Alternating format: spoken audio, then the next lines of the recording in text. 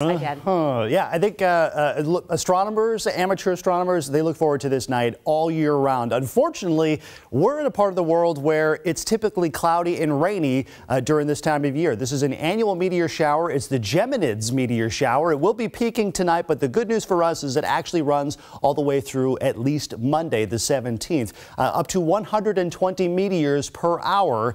That's a lot. Uh, the, the second best meteor shower is actually the Perseid meteor shower. That's back in August. That only has about 60 meteors per hour, so it's about twice as good as that. Unfortunately, this is what's going to prevent us from seeing it, at least tonight. There's a frontal system moving through this evening. It's going to be wet and it is going to be cloudy. Now, we are expecting a bit of a break as we head into early tomorrow morning. For, so for you early risers, you might actually see a couple of breaks in the clouds. This is our high resolution forecast model. Notice it's cloudy through this evening. We're starting at 5 p.m. this uh, tonight. Uh, you can see as we head deeper into the overnight hours, we see a little clear clearing. However, there's still quite a bit of high clouds that'll actually be hindering our view, and that also includes eastern Washington. So even though, though the low clouds will start to clear out, not looking at a whole lot of clearing tonight. Tomorrow night, however, does actually look a little bit better. So here's how you can see it. Uh, you look towards the eastern horizon. That's where the constellation uh, Gemini, the twins, will be rising. Uh, again, peaking tonight, but you might be able to see it over the next couple of nights. Uh, the best time to see it is early in the morning. I'd say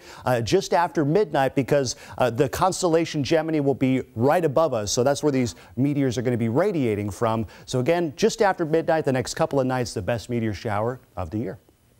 Well, at least it's the weekend, so some of us can stay up late. Yeah, you're right. Thanks.